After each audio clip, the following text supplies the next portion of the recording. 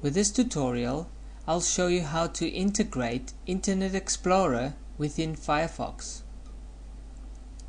You need to add a button, which is an add-on in Firefox. Go to the Tools menu and click on Add-ons.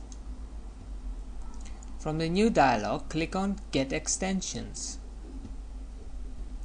This should take you to the Add-ons page in Firefox. In the search box, write IE tab and click search. With the new search list, scroll down until you find IE tab. Click on this link.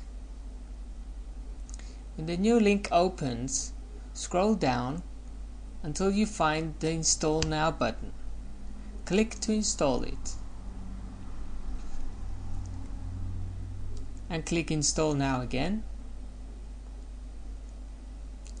And once it's installed, you need to restart Firefox. Click on Restart Firefox button to restart Firefox.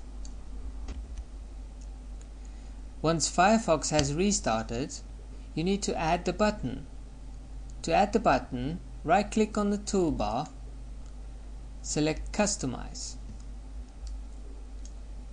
Find the IE tab icon and drag and drop it on the toolbar. Click Done when finished. With this new icon, you can now switch between viewing a page in Firefox or viewing it as if it was in Internet Explorer. For example, if we want to see this page in, as an Internet Explorer page, you just click on the icon. As you can see, the icon inside the address bar changes into an Internet Explorer icon and you can switch back to Firefox by clicking the button again.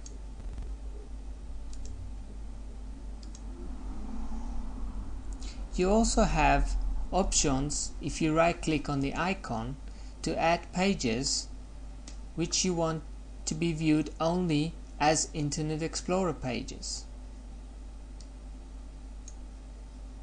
Have fun!